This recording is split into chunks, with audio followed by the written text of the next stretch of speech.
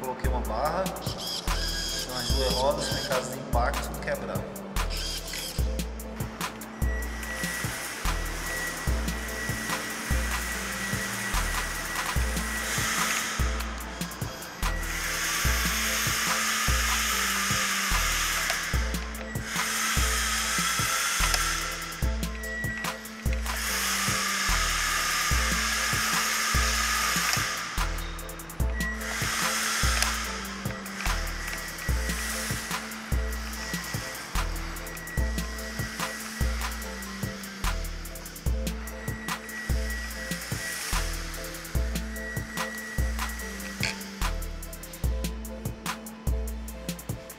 Muito bom